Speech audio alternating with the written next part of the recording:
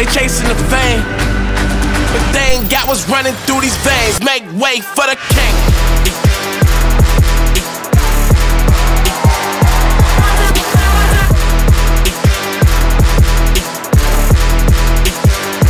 Make way for the kingdom. King me, checkmate, then repeat. This chess, not checkers. What can I say? I got goat genes. Real kings do king things. Live like it's running through these veins. Make way for the king. Hello, everybody. Um, welcome. So this is our third year, I think, doing this debate, um, and uh, we. I appreciate first. I'd like to say thank you to Anthony for putting this together, uh, and to to Steve for being such a good sport here. Thank you. So we'll go right into it. Thanks. So if we can get these, let's see if we can get the slides up. Okay. I'm going to go straight into it. Why don't you take a look at this slide. These slides, um, I do different stuff. I'm an attorney, but I also am in the oil and gas business. And in the oil and gas business, it's a little different than the practice of law. In the practice of law, a lot of times you're dealing with microeconomics. Microeconomics is going back and forth in your day to day negotiations of what you do in your business.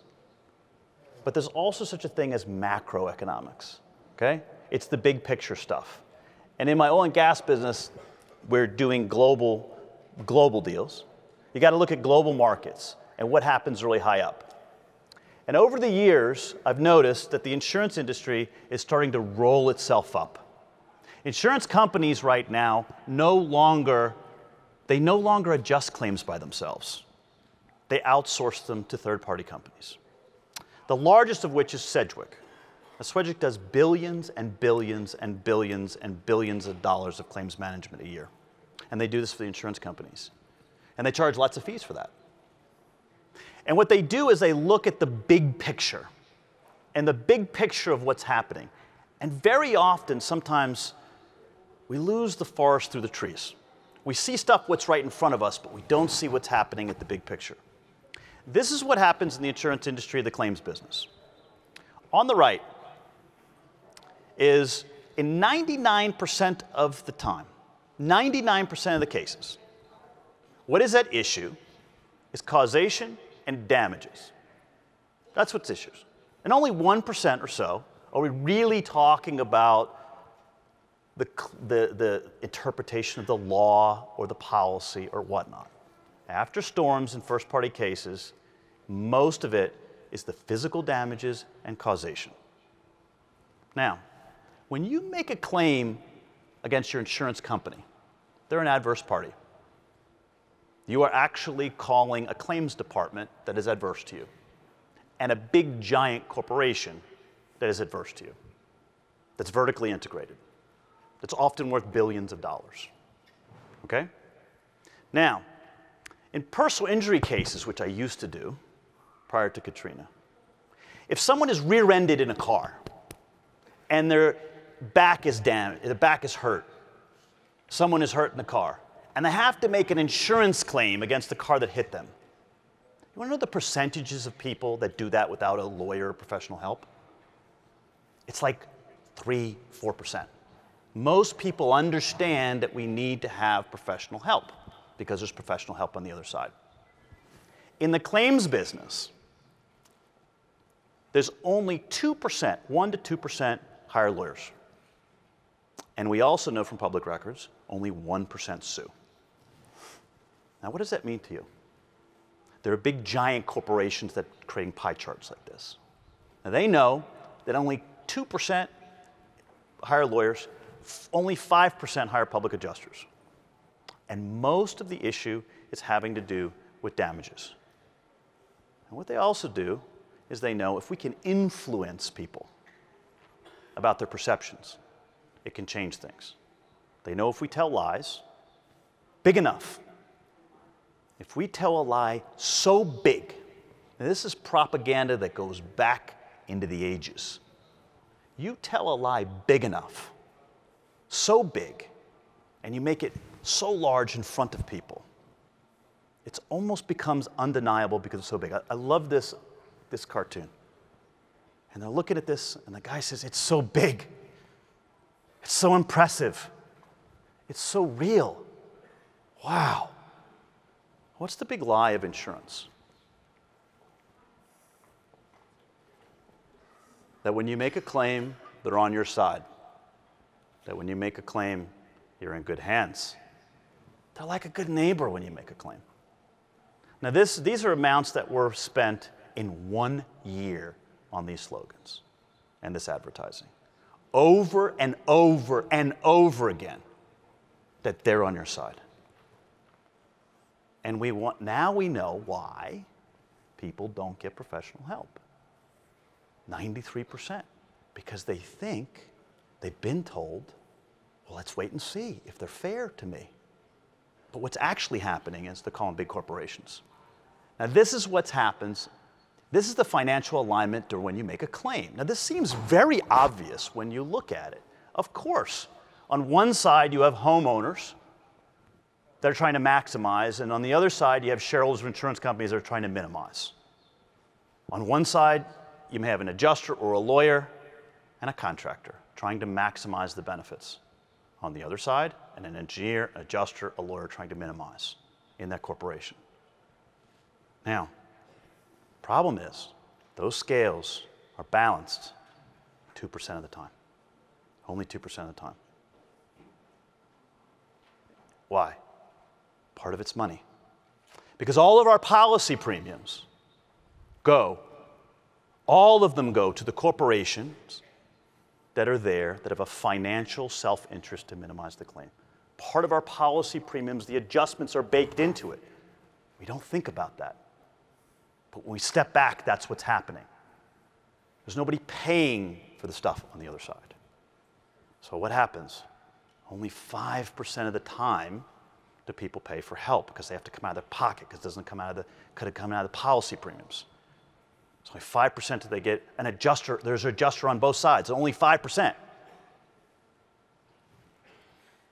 because of money, because that's what's being paid for by the policy premiums. Now, in, 90, in 93 to 97% of the time, there's been a safeguard for years about this. There's been a safeguard because at least everybody had a contractor there that was standing, or someone standing there to help. Someone there documenting the actual damages, documenting, taking photographs. And they can send that information in as proof, as eyewitnesses that are aligned with the same financial interest as the homeowner. Now, they studied this. They studied this pie chart. They look at it, the industry looks at this stuff and says, wow, you know what? The 93%, though, the five, only 2% could sue us. 5% are really level in the playing field because they've got adjusters. And heck, we're not worried about the one, because only 1% are suing. That, that's a rounding error we're not getting away with it as much as we'd like to and minimizing it because these pesky expert eyewitnesses are there to stop us. So, what did they do? They started to target the contractors. Why? Because you represent 93 to 97% of the market. That's why they started contacting them. And what did they do? And they looked at this. And the industry and very deviously, they got together and they started talking with public adjusters and some lawyers that handle claims for policyholders. And they found some potential self interest because the 5% and the 2% got together and say, We want more market share. We want more. And why are we so small? And they looked at, and the public adjusters and some lawyers looked at each other and said, You know, we're so small, and uh, they made a mistake. They either made a mistake. I think they did make a mistake because they did something that weren't in their self interest. They said, Look, we're going to get more market share. The reason we're not getting the market share is because In 99% of the cases, it's just damages, it's just causation. And these are the experts. And they do it for free. They don't need to charge us, they don't need to hire us to do it. So, what can we do? Well, they teamed up with the industry and they went after contractors. Now, this is a memo. This was a memorandum that the oldest public adjusting association in America gave an award to. Storm chasing contracts are criminals. UPPA, unlicensed public adjusting, helping policyholders without a license, is a vehicle of consumer fraud that preys upon some of the most vulnerable elements in our society. This is what the public adjusters gave an award to. The disaster stricken, the elderly, the unsophisticated, and those whom English is a second language. UPPA has become synonymous with fraud perpetrated by disreputable contractors, you guys. Ne'er do well storm chasers, you guys. And similar predatory inks. Storm chasers are criminals. And what was the crime? What was the crime? This memo is very interesting. That was given an award to. The fraudsters offer negotiating services as a free bonus. That was the crime. The stereotypical transaction involves the fraudsters, that's you guys, going door to door after natural disaster, advertising repair and negotiating services. And then once retained, the fraudsters engage in pro forma negotiations with the insurance companies. The population is made up, the, po uh, the population is made up of contractors that negotiate insurance claims, likely doing no better than the homeowner himself to complete repairs. really? This is what they want to do, though. It's not enough. They wanted, they argued that contractors should go to jail for it that it should be a class three felony. And in 42 states now, if you aid a policyholder without a, without a public adjusting license or a lawyer, you can be accused of a class three felony.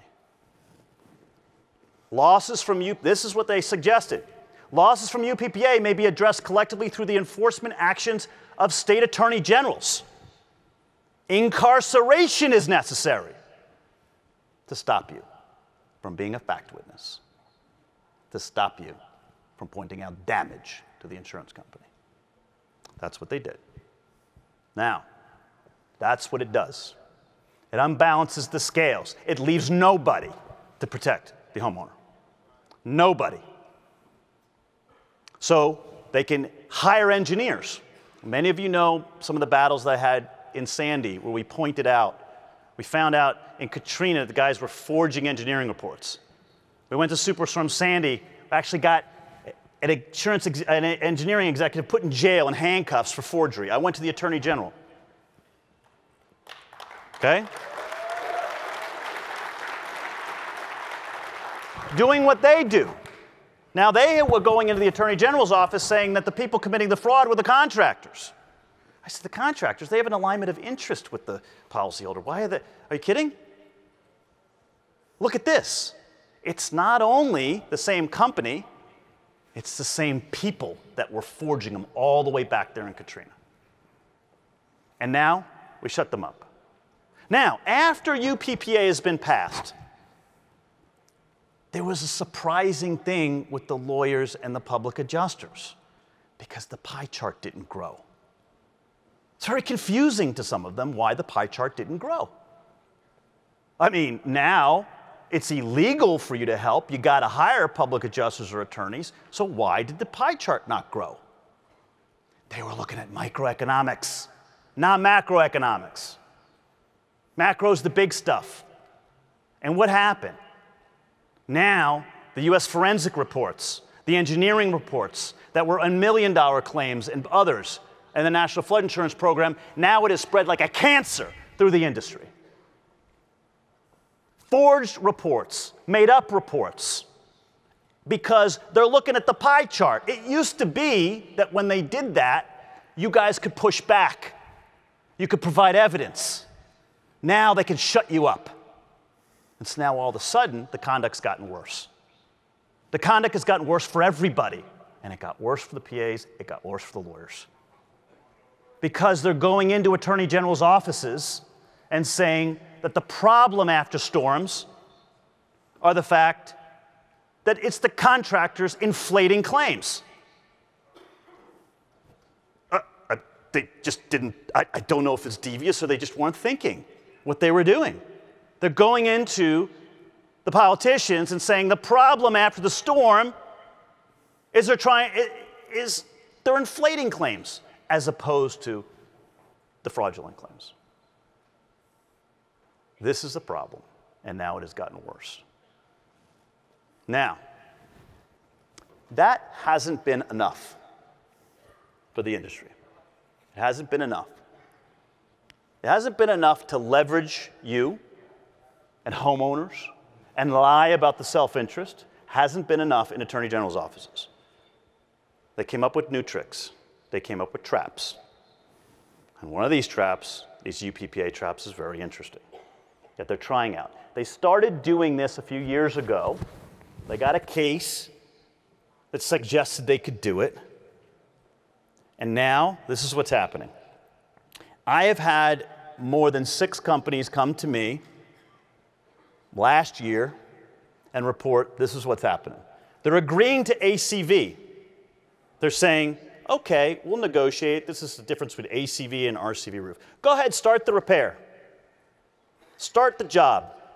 We'll agree 87.5, we'll agree. Start the job. Then halfway through the job, when you're asking for your RCV back, they're going, huh, oh my gosh, the contractor helped with the claim. The contractor aided the policyholder. And they're denying RCV. Okay? It's happening even when they hire PAs. Even when you hire a PA and a lawyer, they're doing this. So, what can we do about it? Well, first off, what you are actually doing is you are just arguing damages. You're arguing causation and you're arguing damages. That's what you're doing. But that happens to trigger the policy. You're actually acting as fact witnesses to causation and damages eyewitnesses. Now, that eyewitness in 99% of the case can trigger coverage. So they're lying and conflating the issues regarding whether or not you're negotiating the policies themselves. Now, I have some disclaimers that I wrote um, that um, those who are here in the storm, here at Win the Storm, you can contact me. You can have these disclaimers, and I think some of these disclaimers I'm telling my clients can help you. Um, but that's not the only trap. They started using that, and I call these, there's a, there's a few of them um, in one of my speeches, I called them badger traps. Because very, very, very, very clever lawyers okay, are looking at this stuff, okay, and leveraging for their side. Here's another trap that's been happening the 10 and 10 trap. They know, they've been seeing things like this, people asking for overhead and profit. They know you use Xactimate. So here's what they do. Okay, start the job. Oh, we don't want to give you O&P. Okay, we'll give you O&P, overhead and profit. Start the job. You start the job, they pay you the 41, and then they say, you know, give me your sub invoices. Before I give you your RCV, give me your subs. No, I'm not going to give you your subs. Nope, you got to give the subs or I'm not giving it to you. And then they're saying, if you don't give us the subs, maybe it's because you're not holding 10 and 10. Maybe you're holding more than 10 and 10. Maybe you're paying commission. Maybe you have to pay your adjuster and you're holding 40. So I'm not paying your, I'm not paying your RCV. Now, what it is, it's a little bit of a shell game that they're playing with these traps. It's like the guy in the street with the shells and the little ball Oop. you want me to quit? Switch it? I didn't put okay. that up there. Switch president. Is that you? Okay. So it's a little bit of a shell game that they're playing with you. Because they know what you're doing is just using Xactimate just to come up with a number of a lump sum bid. That's what they know. But instead, they're suggesting, because you're using Xactimate, that it's a cost plus contract, which means you give your materials and your labors at cost, and then you add profit on top of it. They know that you're using Xactimate just to get to a number, but they're interpreting it to be a cost plus contract, which is a shell game, and it's not true, and it's a trap. Now, um, with that, I'm going to turn it over to Steve. But th- these things are very, very clever. Okay? They're very, very clever. They're very, very clever little traps that they're creating for you to create leverage and stuff. What we have to do, and what's important with events like this, is to call them out and, and for you all to be educated the difference between a cost plus contract, a lump sum contract. There's simple solutions to this stuff because most of it's based on deception. Thank you.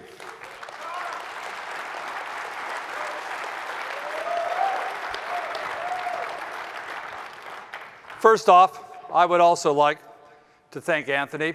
This is really cool, isn't it? The fact that I'm here doing this and a number of you come up to me and thank me for being here. And I thank you for allowing me to be here because as I told someone in the hall, uh, hopefully you learn from me and with my perspective on these issues, but I absolutely also learn from you. Uh, and I hear the things that are said, I listen. My clients, uh, in turn, are advised of positions. And I know some of you in the room who I've worked with have seen a change in some of the positions my clients have taken because of things I have learned, uh, but not on all issues. So let's talk about some of those. These are my six hot topics for 2020, and I'm going to try to move fast so we actually have some time at the end to debate. All right. Number one, waiving of deductibles. 2018, we have to unite at a CEO panel here, someone said, and stop the waiving of deductibles. And I agree. And for the past two sessions, what did I tell you? I told you I promised I would make it an objective of mine to end the waiving of deductibles in Texas. And you know what? We did it, right? No. We have a law now in Texas that passed because of the work of a combined group of contractor trade associations, uh, consumer advocates, the insurance industry. We worked together to pass a law to make it clear that every building owner must pay their deductible in Texas. Every contract in Texas now must have language that says that deductibles must be paid. I would encourage you to use language like this. I'll give you my email address at the end uh, to uh, make sure that it's available for you. You can get the language, make sure it's in your contracts. Additionally, we did not want people not to be able to replace their roofs because they could not afford their deductibles. So we put language in the bill when we wrote this that made it clear that you could finance your deductibles under legitimate financing plans. And they're happening. They're out there now. Real legitimate contractors are financing deductibles. Companies have shown up that are reputable, that are actually really collecting payments and allowing people to pay their deductibles over time. And those that don't will face credit reporting or collection. And that's just what we'd hoped would happen, and it did happen. But like anything else, there are people who refuse to go along and try to do things right. And I get stuff sent to me every day from people who are trying to get around the law by saying, hey, just make two payments and then we'll lie to the insurance company. I get these all the time now. So we're fighting that issue. Please, if you see violations of this, let me know. It's a great example that good things happen when we work together. So we see bad conduct on both sides. I get it. The insurance industry is not perfect but nor is the other side. So here are some of the issues that we're dealing with right now, and I hope by talking about them, you'll be mindful of them the next claim that comes along, and you decide whether or not to try to submit an insurance claim. I'm sorry, I said that wrong. whether or not you try encourage the homeowner to, do, to submit an yeah. insurance claim. That was a slip, wasn't it? Yeah. And we call it the reclaim scheme. And this is an example of one where they're on the aggressive against my client. The insured was actually a roofing contractor submitting a claim for his own building. And we're going after the bad insurance company, the contractor, and the PA because they've been dragging us along and they're not paying the claim.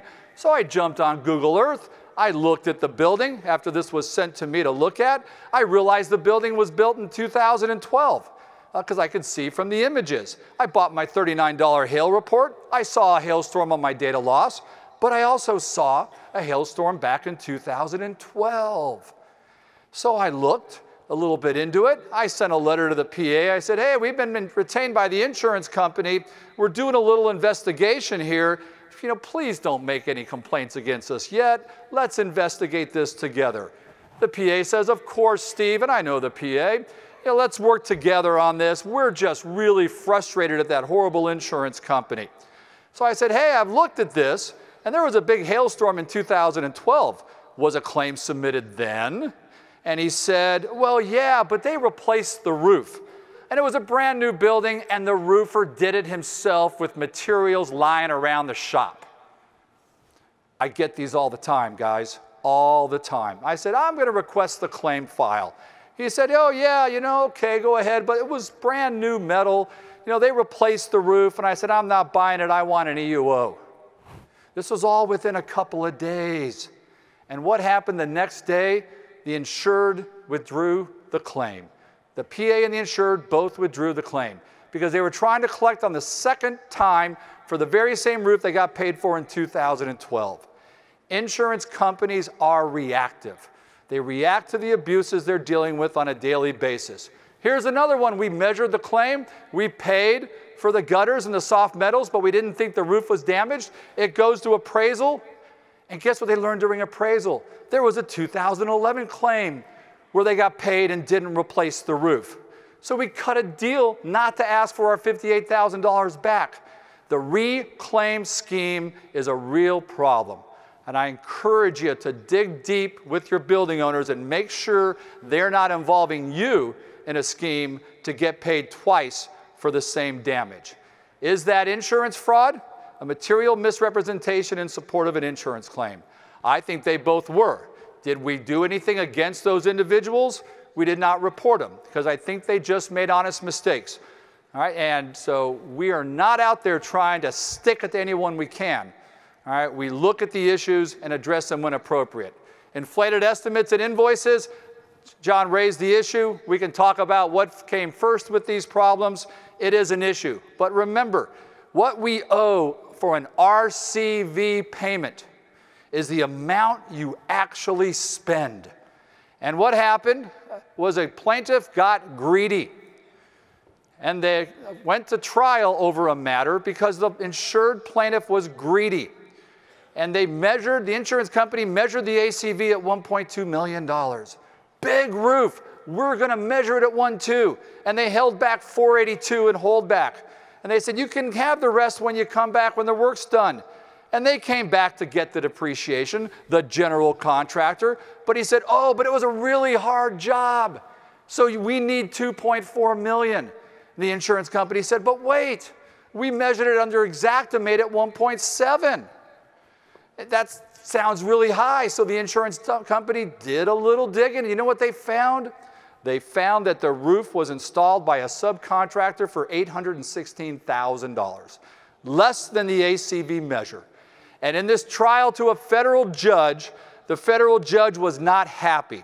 And he said, the record shows the only amount actually spent necessary to replace the roof were the payments to the contractor, the subcontractor, and that's all they get. So, what are the lessons here? Yeah, you're being asked for your subcontractor invoices now when you are a general contractor. Because in this case, someone got greedy and they gave us an opportunity now by creating law that allows us to ask for it. And that's what we're dealing with. There is bad conduct on both sides. Remember the first year I was here, I read this story? All right? Guys, there were people in the industry who are killing your golden goose. They are. And I would encourage you to work cooperatively with us and address it when that conduct goes on because it's not good for anybody.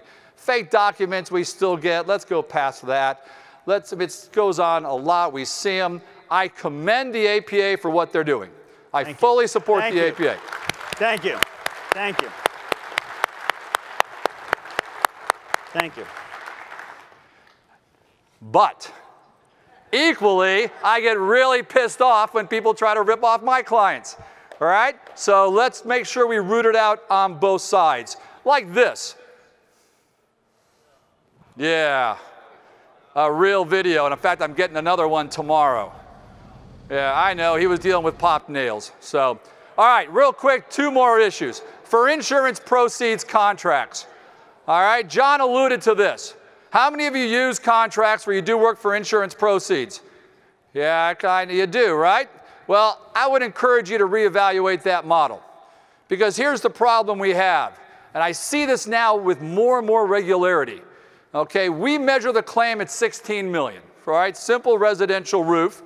You go put the roof on under your insurance proceeds contract, and then you come back and say, oh, you know what, but it actually cost 28 grand. All right, you supplement it, or you tell us after what you really think it costs. So the homeowner has a roof at that point, and I only owe the amount you actually spend to replace the roof. So, under this insurance proceeds contract, who is the person that can sue me? Not you, right? The insured. The insured has a roof where they're getting the roof from the contractor for insurance proceeds. Do you think that insured has any skin in the game anymore?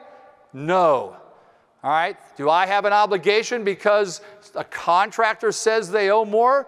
I don't think so. So I would encourage you to reconsider the use of those contracts. Lastly, UPA. Who's been arrested in the past two years for UPA? No one? We've been talking about this for two years and no one's been arrested? Okay, who's been sanctioned or fined in the past two years for UPA? No one? Wow, we keep talking about this, John, but no one's been imprisoned or sanctioned. Who's been sued for UPA? No one? Who's been accused of UPA? Yes, that's right. Some of you have. And there is an issue there. But to call this this grand scheme by the industry and the PAs to get together to screw the contractors ain't right. What UPA has done is it has given a way to create a way to respond to really bad behavior. like this, where contractors are demanding appraisal, pursuing appraisal, and paying for it. Is that UPA? That the contractor is paying for the appraisal and running it and doing it, choosing the appraiser. Is that proper? Is it UPA or is it proper? Let's talk about either. Is, it, proper? Is it, is it UPA or is it proper? Because here's the thing about laws. oh, so wait, we're going to get into the let's get rid of the law speech, right? Why? But, Oh. but you're a lawyer. Let's Okay. talk about the law. We're Now, talking so- about a law. If we want to get rid of the law, about- hold on, hold on, hold on, hold on, hold on. There's a difference between a law and it being proper. Where I'm from, they used 200 years ago. They bought and sold human beings. It was legal. It was wrong. It was improper. Why do we have UPA laws? Did, how did they come about, John? Where did the UPA laws come from? The PAs will tell us where they came from. The PAs were being accused of the unauthorized practice of law by the lawyers. So they needed a carve out to allow them to do what's essentially the practice of law. They worked hard to give themselves a licensed right to do what they do. And I respect that. So if this group thinks those are bad laws, you ought to go out there to all your friends who are here in that room soliciting your business and all those guys who sat on this panel and said, Send me all your cases. You go talk to them because this ain't the insurance industry's issue. This is the public adjusting industry's issue. So, also, something else that I think is improper and UPA. Why does a contractor have to cite the bad faith statutes in Texas in their estimate? Is there a reason that's necessary? Or have a contract with the homeowner where you say, don't talk to the insurance company, let me do all the talking to drive the insured out of the process. Guys, there are abuses that need to be addressed. But, but there is behavior that is not a UPA issue. Pull out the North Texas Roofing Bulletin. I absolutely agree with what they say is not UPA. And as I say every year, uh, when we come to this discussion, as we always do, this is what I teach the insurance industry. I teach them to be nice. And I think you should be nice because there is a gray area where we can work together to help Mrs. Smith get her roof as quickly and fairly as possible. Now, one thing that is happening that I'm excited about is instead of all this angst back and forth that there continues to be, and all the posts that people send me that are in all the forums that I can't join, all right? Uh, but I have people who send me stuff, so when you post really bad shit about me, it comes back to me, okay? I see it. Um, but John and Anthony and some leaders in the contracting industry have gotten together because uh, I've brought them together uh, with leadership in the public adjusting community, and we're having a dialogue about this issue to see if we can all define better what is and isn't UPA for everyone's benefit. Uh, we need a consensus on that issue. Also, we need to work on a uniform residential roof spec. I'm tired of hearing fights about this. We're all better off if the in insurance industry and the contractors can just figure out what you got to do to replace a roof, right? I'm with you. That's something you've taught me over the past couple of years. We should work on that. sbadger at Zelle.com. Write it down. If you ever have something that bothers you or a complaint about something or just want to raise an issue, send me an email. I'll respond because I like the discussion that we're having. Thanks for having me. Thank you. First, I want to thank I want to thank Steve um, for what you said about the APA. All right, um, I want to thank you for that because that's because that's important. That's very important. Um, it was interesting. Doug Quinn, the executive director, we said I said to him, I said, you know, we're going to go to the industry to ask them to endorse the APA. We're going to go to the Coalition of Insurance Fraud which creates the SIU units that goes to attorney general's offices that says it's all contractor fraud and sets up SIU units to target you guys. And we went to them and I said, Doug, that the industry is actually going to say that they're for APA. And he said, No way, they'll never let us in. I said, Yes, they will. Yes, they will. Because what's the APA against? Insurance fraud. We're going to go to them. It's kind of like saying, yeah, I, I agree, rape is bad. Murder's bad. I agree. Insurance fraud is bad. Now, they don't say that they do it much or that it happens at all, but they have to say that. Now, um, we talked about, a lot of you clapped here when we talked about the collaborative nature of working with the deductible law. And I heard that in Texas, that it is legal, it's illegal to waive deductibles. Unless you're an insurance company. But who is the party unless, to the contract? Unless, unless it's insurance company. So what they did with this law, it was a Trojan horse they tried to sell you. They said, we're going to make it all so that your competitor, your competitor can't waive the deductible. I'm sorry, but John, were you in any of the meetings they, about the drafting of this bill? Did you attend any of the sessions in front of the legislators and the committees over the intent of the bill? Because I will tell you, I was. Hundreds of hours, and not once did this issue come up. I know. Not and you, and once. You know, and you know what? Had I been there with your legislators that passed it, actually, I talked to them after you passed it. And I said to those legislatures, did they ever point out the fact that they can do it? Did they ever point out the fact that they could walk next door to the roofer next door, pick up the yard sign, call that roofer who doesn't have to pay the commission, who's going to be guaranteed a payment in seven days, that doesn't have the same risk and the same overhead, and say, we'll waive your deductible? Did they ever tell you that? And you're and and, and the senator And the congressman didn't know that. They weren't told that. Why? Because of exactly what he said. We were not in the room. Who's We were not- we Who, were not in whoa, the room. Who is we? Who is we? John Hodel, Houghtaling? Because Somebody who was who in knew the what room? you were doing. The Roofing Contractors Association of Texas, Yeah. North Texas Roofing Contractors Association were all in the room. And at no point did they raise any concern. Go take it up with them.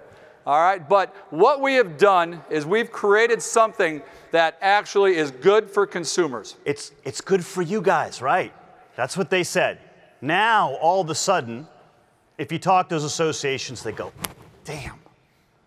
Really? We didn't see that. We didn't see the fact that you can waive it. And what's happening now? Who- What's happening who- now? What who happened did on you the talk floor, to at those what associations? What's happening on the floor now? Well, Who? yes, yesterday, last night, the distributors, the, the companies that you're selling, the distributors, and all of that, we had discussions about not being in the room when this stuff happens or not looking at the macroeconomic issues of the deal. You're still blinded by what's happening with that competitor. That you're saying, you know what, we got to stop that when you don't step back and look at what'll happen. Here's what's happening next after the deductible law walking the floor of WTS, walking the floor and asking a roofing company, you know, we can work together. We can make you a lot of money. We can make you a lot of money. We can work together. Roofer came up and said that. That happened today. Okay? Now, what's happening with that? What's going on with that? The fact is now they can waive the deductibles. Every insurance company that now picks your competitor can waive it, and you can't. So the policyholders' choice of contractor is now more expensive than the contractor of the insurance company. Is that good for the consumer? And what do you think when you go and you say, we're going to make some money? We're going to make some money. Look at the macro, what's happening here. Okay?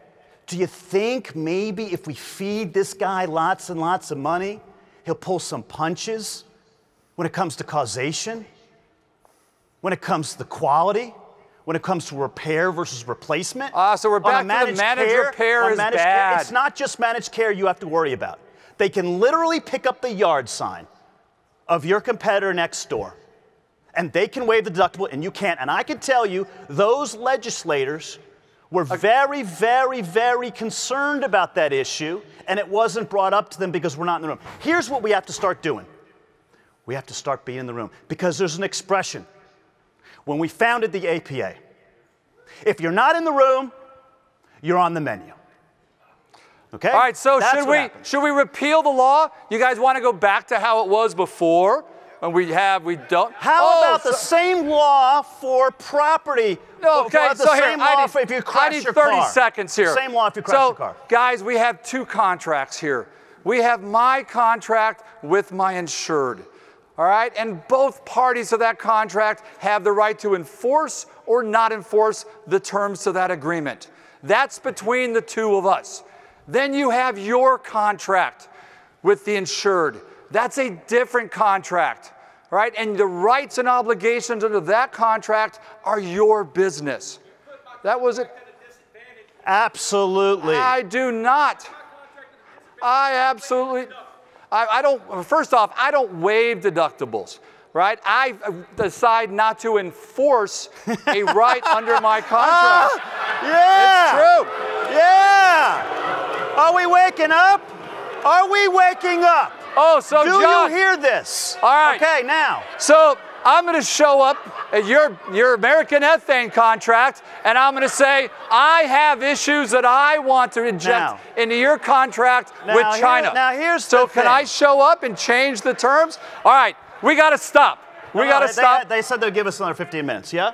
Another 15 minutes. hey, All right. all right. Let's talk. Let's talk we got to go to something else now. No, okay, let's go to something else. Let's talk about the Whitestone case, okay? Let's talk about the Whitestone case. Because What's a reasonable because- profit? Because the 10 and 10, because the 10 and 10 Badger trap, the 10 and 10 Badger trap, what, what was done in Whitestone. Now, I'm not sure whether or not Mr. Badger understands the difference between a cost plus O&P contract and a lump sum contract. I absolutely don't- do. And I, uh, then I don't know if the judge did, and I don't know if the lawyers who represented them understand the very important significance of the difference between offered acceptance on a cost plus or a lump sum. I've been spending, I'll tell you, I've, I've now talked twice at Steve Patrick's O&P seminar.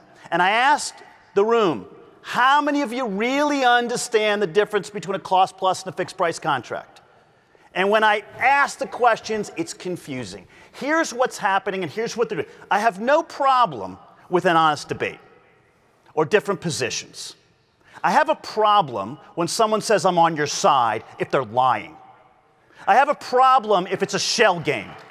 I have a problem if they're saying, this is good for you, when it's bad for you. And it's a trick. That's what I have a problem with. And the problem with the O&P stuff is this is what they're doing to you guys now. You want O&P. We're hearing Steve Patrick talk to 10,000 people about how to get O&P, 10,000 uh, contractors a year. And they're hearing this and they're listening to that. And they're saying to you, okay, you want O&P? Okay, you got it. Here's what they know if they know the difference. I was giving you the benefit doubt that you didn't. But let's assume you, then the fact that you do know the difference. Here's what they're doing to you. They know that you're using Xactimate as an analysis tool of the market. And they know that you're using it to get the bottom line price. They know that's what you're doing. But when you ask for O&P, you trigger in your language that you're going to give the cost and materials at your cost. That's what you do. And what did And I they- say a few minutes ago that I recommend you do? You go to a fixed price contract. Thank you. I agree with that. Let's get rid of insurance proceeds Thank you. contracts. Thank you. John and I had a Harvey claim. John calls me up and says, Badger, do you represent so and so? I said, I do. And he said, Well, I'm about to sue him. And I said, Don't sue him. Let's talk about it. So we got all the info together. John had a contractor Xactimate estimate that was considerably higher than my independent adjuster's contra- uh, Xactimate estimate. Imagine that, right? So I said to John, let's get out of the Xactimate world because in my view, it's actually Generalimate, right? There's nothing exact about it. So why don't we bring in a real good contractor who actually fixes damaged buildings and tell us what it's really going to cost. And John said, Are they good? Are they real? Are they legitimate? Will they do the work and do a good job? I said, Absolutely. I'll give you references, even from a prominent Dallas plaintiff's lawyer who I referred them to, and he loves them. So we brought them in, and they wrote up not an estimate, but a bid. I love bids. And they wrote up a bid, and guess where it came? Right in the middle of the two. And you know what happened? We resolved that matter without litigation. So, yeah, there's lots of problems with cost plus. Uh, I get it. I understand, but let's stop doing it. And then also, we have to decide whether we're general contractors or if we're roofing contractors. Because the whole Whitestone thing, asking for subcontractor invoices, doesn't apply if you're a roofing contractor and all of your profit is in your bid price. I don't have a right to push if you give me a real bid. Give me a bid and whatever your profit is, that's up to you. But then we can decide what to do with that bid. Are we on the same page with the use of bids? We are, however, Ah, But damn. no, however, let's go back. We'll talk about the facts of this. What happened, and this is important, it's a, it's a very, very good dialogue here. Because what happened is, I said to Mr. Badger, we need to fix the property. We need to fix the property. And he said, great, I'm going to come in, we're going to do an inspection. All right, great. That'll be good. And then I get a call that says, I'm bringing an engineer. I said, a BCD? What? A bias causation denier. I said, I have a problem with this. I have a pro- wait, wait. We don't need an engineer to rebuild this place. Why are you bringing an engineer? Because if you're bringing an engineer, Steve, because I know this game, I'm not playing games. and I said, we're going to cancel it. And if all you're doing is bringing an IA, is that true? No. You're bringing an estimator. I got one option for my client, which is my contractor. Only one. And, I, and your guys are theoretical, biased guys, and they don't give me a choice. So unless you bring a contractor who is going to be able to do the job, then we can talk. Okay? Now, in that claim also, And there was no disagreement there, no, right? no, That's and- and- exactly and what I we got- said. And we ended, up, we ended up working out what it would properly cost to fix it. But there was another thing that happened in that claim, and that was the fact that the insurance company takes advantage of the fact that only 2% of people hire lawyers. And if you don't hire lawyers, then they don't have to often follow the 60 day rule of payment, which is, which is in almost every state. And they know that policyholders don't know how to trigger that law. And they know they have to hire a lawyer to trigger that law properly. And they also know it's tricky to trigger that law. And so they don't want you when the, and you looked at the you can't possibly talk about the law of what it is because they don't want you to. And the problem that we have here is all of the policy pre- premiums of our payments go to pay those guys who are adverse to us. And they don't pay claims manager, managers on our side. We are funding somebody who is adverse to our interests, and we are not funding the people that have an alignment of interest. And we are allowing those big corporations with all of their slogans to lie to homeowners and knock on the doors and say, I am an independent adjuster. I get paid more and I have a fine, so I get paid more the more your claim is done. Therefore, I have a financial alignment of interest with you when that's a lie. When there's a thing called XactAnalysis and we know how it works. And anyone that says that somebody who gets paid by the insurance company does not have a conflict of interest is not telling the truth. I have no problem with telling the truth. I have no problem of debating the truth. But we can't play the little shell game. That's what we can't do. With an honest debate, with an honest debate, with honest contractors, with real costs, then we can come to an agreement. So I refuse to accept that 98% uh, of all the claims where there aren't lawyers or PAs involved, that my industry is screwing the homeowner. I refuse to accept that. You- do you- do you- likewise, do you well, hold on. Likewise, right? I'm not going to sit here and say that 90%, 98% of all of you are scumbag assholes. All right? I'm not. All right? There are problems on both sides, and that's why we have public adjusters and attorneys. Now, one issue I'm going to help you with here. John says no one knows how to trigger our prompt payment deadlines. In Texas, it's really easy. All right? Help the homeowner, all right, have the tools that they need to provide all the information needed for the insurance company to reasonably investigate the claim. And what is that? As John said, in 99% of the time, it's causation. Is there damage? And number two, what it's going to cost to fix this damage that exists. If you provide those two things, all these smart lawyers in the room, all right, Zach and Bob and all these Texas lawyers will know how to trigger the prompt payment deadlines and get it going right away. Is it okay to us provide notice of those deadlines to customers? That Us again. being, is it for a layperson who's not a lawyer? Uh, is it okay for the insurance company to do it? Sure, they should. So, because here's the problem. tell people. It's not a matter of whether or not somebody is a criminal or not on the other side. He's not a criminal. Okay? But he has a conflict of interest with your policyholders. He could not represent them. He couldn't represent the insurance company and then go in and knock on the door because he has an ethics he has an ethics license. And the problem that we've had in the industry is that we're being myopic Plaintiff lawyers and public adjusters are being myopic about what's happening on the big picture. We're self regulating ourselves so that it is illegal. I will get put in jail if I knock on that door.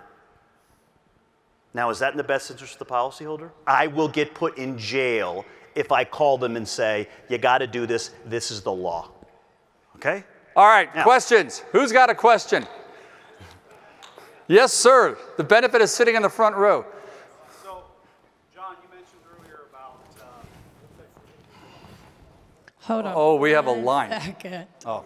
Um, guys, I'm going to Okay. get his um, question, and then I'm going to go back to the space where we've been asking questions. Hi, how are you? How are you? Good. we are, we are running late, Okay.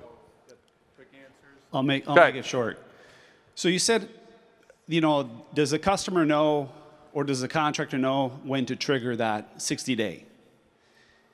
And then it went to Badger. Badger said, yeah, you can explain to the client. Am I right?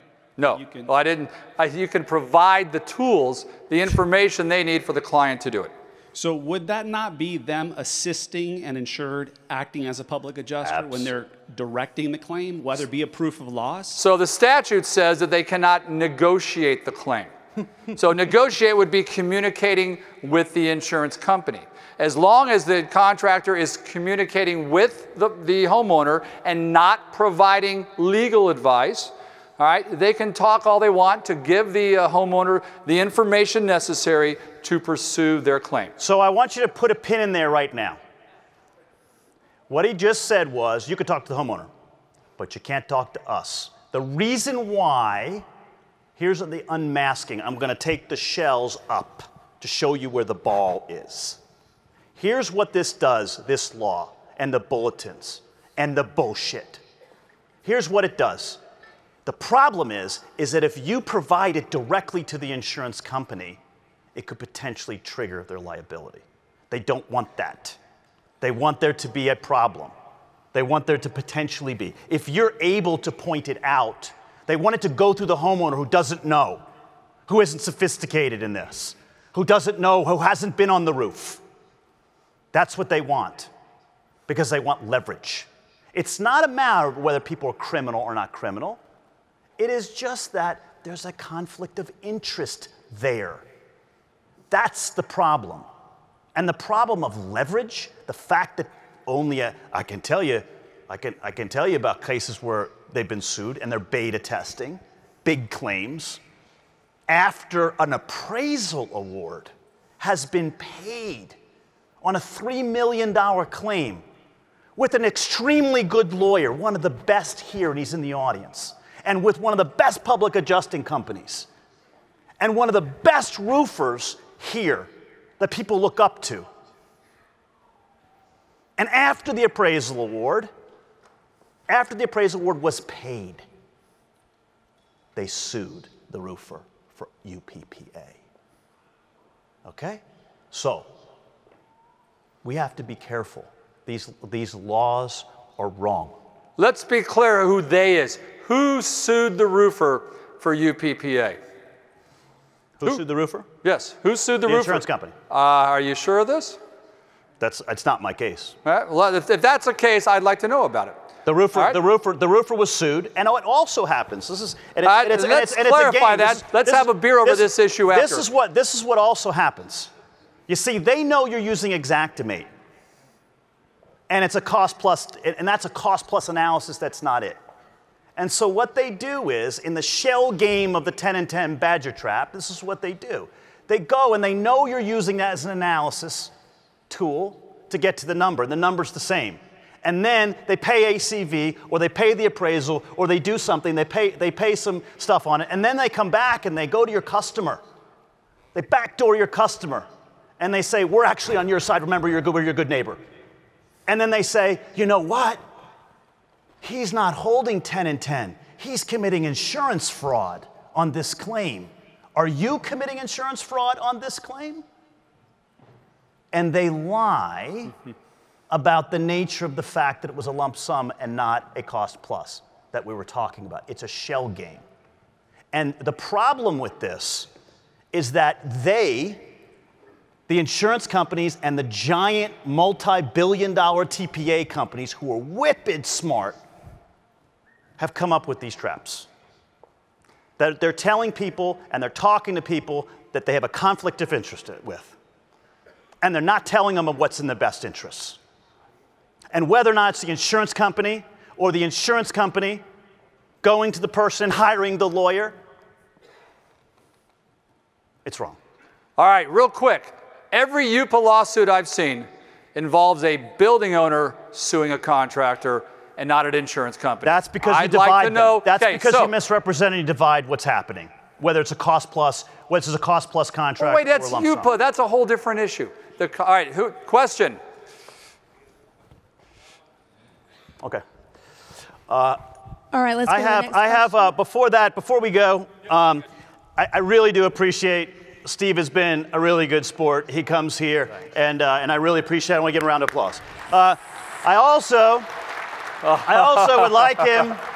I'm donating a piece of the my Star Wars collection to the APA. If you're a new APA member, I'm also want to give this to Steve. Really? Yes.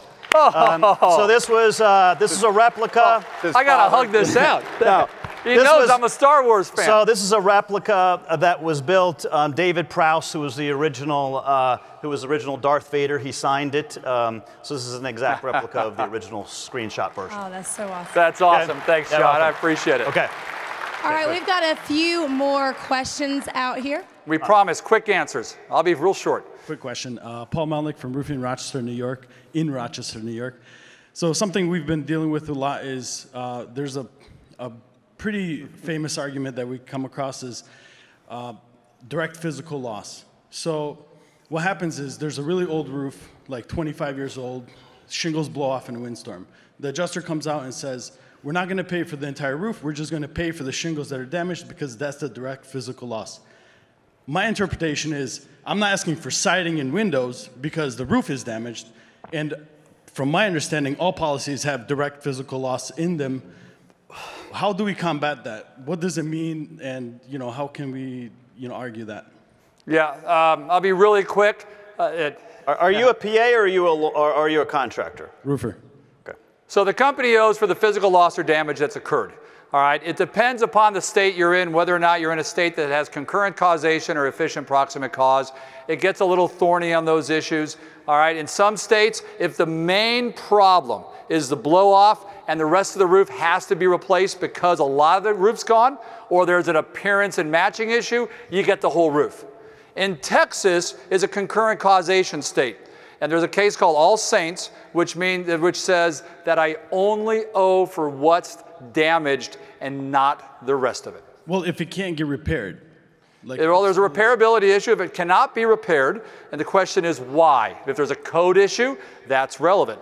But if it's an old hardy slate tile roof and you can't repair it because you're walking around and all, all the tiles are coming apart, under Texas law, that's not my problem. All right, the insurance company doesn't owe that; they just owe what's damaged. Come So find what- me so after. what, we'll so talk what about should it he more. tell the insurance company? In that situation? Yeah. Uh, he should say, look, I cannot repair this roof for X, Y, and Z reasons. The code does not allow me to repair this roof. The manufacturer requirements do not allow me to repair this roof. Uh, and uh, talk about why you believe the roof is not repairable. Now, there's a lot of insurance companies that will just tell you that you just induced a felony. So, Okay, my, because because this and this is the problem with UPPA. You're asking a question which is very honest. And what are you really talking about? You're talking about causation. You're talking about damages. It just so happens that that may trigger coverage. But be nice. you just talked about be nice. be yes, be nice. If you're nice to the insurance company and they like what you're saying, then you may not be accused of a class 3 felony. If they don't like what you say to the insurance company, then you can commit a class 3 felony. All right, two more. Let's do two more quick questions. We got to right. get off. Uh, Patrick Peel with Choice Remodeling and Restoration out of Hockessin Delaware. Um, big question. Who makes the determination at these um, adjuster meetings? Ladder assist or the adjusters? Yeah, so I will tell you in all honesty, all right, I have told my clients all right, that you should have licensed adjusters adjust every claim. I agree with that. Oh, hold on, hold on, hold on. I have a question. Steve, I have a question. I have a question. Adjusters. Do you think that adjusters should be uniformly licensed? No, no, no, no, no. If the adjuster, what if the adjuster has a conflict of interest with the policyholder? Doesn't a public Should adjuster? it, should it be wrong? Is it wrong? Is it wrong for an adjuster who has a conflict of interest with the homeowner to not have a license? I believe insurance adjusters should be licensed.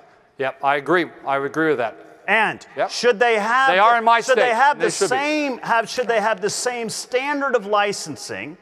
Is there any justifiable reason why someone with a conflict of interest should have a lesser re- license requirement to someone that has an alignment of a Yeah, I agree with you on that. That the public adjuster. Licensing requirement is too easy. It should be more stringent, like the IA requirement. And so you think, I know. so, I- so you think, so you think, so you think, no, no, no, it's, it's, it's kind of interesting. So do you think that defense lawyers and plaintiff lawyers should, one should be able to go to law school and the other should not have to? So that's not how it exists in my state. Well, I think Oh, y'all I might- answered All his question, so let's get to this question, Okay. last one. Yes, how you doing? Uh, we're a roofing company in, in San Antonio, and um, I'd like to ask about the uh, HB H21 HB 2102, right? Yep. So, what exactly are you guys doing to enforce the law? Because this is to prevent bad contractors that uh, are waiving deductibles and and have the uh, unfair disadvantage, unfair you know competition. So, but you guys are really not enforcing anything. Uh, at the same time, we're, we're hearing. So, well, okay, so if you're aware of contractors who are not complying with the law, did you see my slide? Send me a damn email at sbadger at zelle.com. I will report them to the TDI and the Texas Attorney General. Yeah, yes. but, but you guys are really not. Uh, so there's some contractors are actually telling homeowners, "Hey, don't worry about it. Uh, give us the check for the deductible because we have to prove it, and I'll give it back to you." yeah, that's Yeah. right. That's a problem, So isn't it? really- No, no, no, but it's really not- doing no, it's- anything. it's only a really- problem- hold on, it's so- really not enforcing anything. It's It- really not enforcing anything. You guys are not doing anything. It's only, it's only a It's just- problem. It's only a problem. And, and I think the speaker needs to understand this. It's not illegal across the board to waive deductibles All for right, roofers. all right, so- it's not. Yeah. It's only if the homeowner has it. If Steve calls your competitor, if he calls your competitor legally under the law, the deductible can be waived. All right. So Yours can't if the homeowner has you. call your local roofing group and ask them to ensure that they're enforcing the law. Right? This law is, we're doing everything we can to enforce this law. There's uh, three, four thousand contractors in San Antonio and thousands more in Dallas and all over Texas. You really guys can't, can you can't enforce any of Okay, this. so should we just give up Yes. and not do anything and This let all these home customers get Wha- screwed? whatever whatever Right? you I did mean, what do is we do? really whatever you did is really not a, a solution. You well, I'm sorry really I anything. suck and I couldn't do a better job. I mean, I wish you know, my I husband spent a, would say that. all right? All right. Guys, All right. thank you very much. Hey, hold on one sec. Take oh. One last Steve question. Badger. Hold on. Hey. One last Hold on. question. Hold on. We have the attorney panel coming up for more questions. You want one for One him? One last question. Oh, one more? One last question. Oh, One last question. All right, Steve. Hey, I'm in control of this. One last question. I'll be brief. Roof surface payment schedule.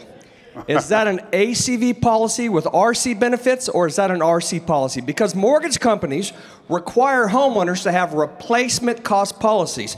In an RSPS, the, the price that the insurance company pays diminishes 3% for every year that the, year that the roof ages. That's an ACV policy, sirs. Not if there's replacement cost coverage, that if they replace the roof. All right, so let's do this. I, um, I am going to go to the VIP area. Anthony said I could sit over there and Hold on. answer questions because I don't want to hear a bunch of Yeah. plaintiff lawyers So talk. so I'll be over there. Bring me a beer and I'll hang out with you over there and answer all your Why don't we questions. go to my booth afterwards at 5:30. Okay. All right, hold on. We're gonna go. We're gonna go after the attorney panel, which is next. After the attorney panel, Steve and I are going to go over to my booth that will be there. If you want to, we're going to continue. We'll continue. Let's do that instead. 5:30 at John's Okay. booth. Thank you. Thanks. Appreciate it. Way to go. guys. Round of applause.